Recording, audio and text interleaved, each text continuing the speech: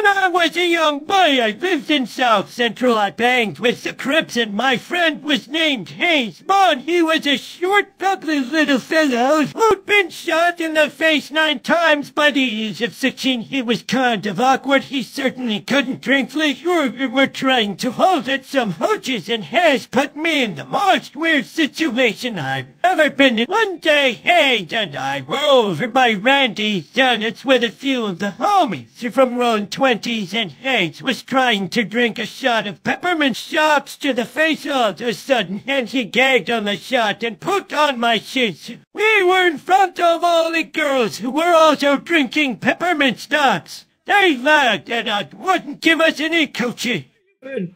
Where are you going? Dad, we'd love to stay here and listen to your amusing anecdotes, but we have to take these coins to the mall and spend them. Anyway.